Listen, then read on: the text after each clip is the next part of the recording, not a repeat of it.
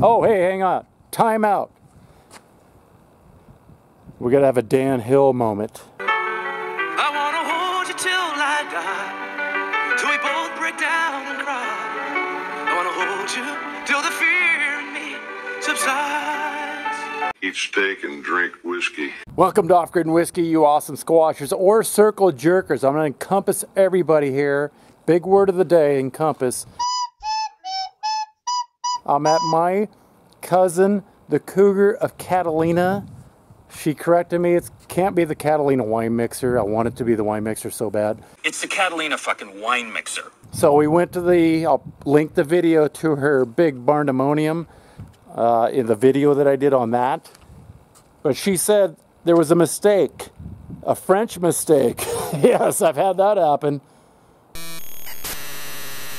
1992.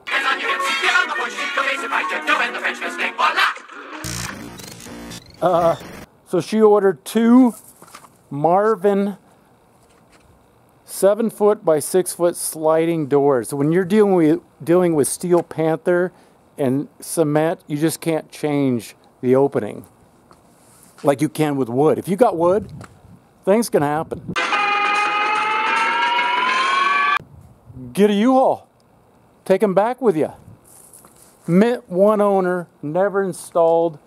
The, the U-Haul is $270 to go all the way back to the Sasquatch Ranch in Washington State. Uh, I thought that was a pretty good deal, right? Wrong.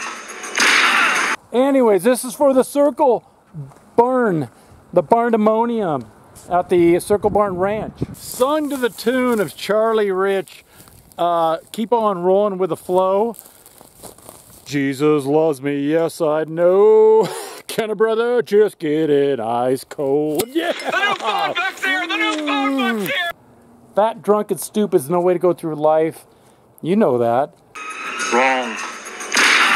See, I didn't know Dan Hill was actually a hobbit. I wanna hold you till I die. And when he sang the song at the end of First Blood, the movie, It's a long road when you're on your own.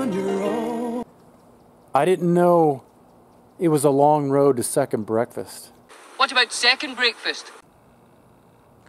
Where am I at? I'd also like to add that I have my father's gun and a scorching case of herpes.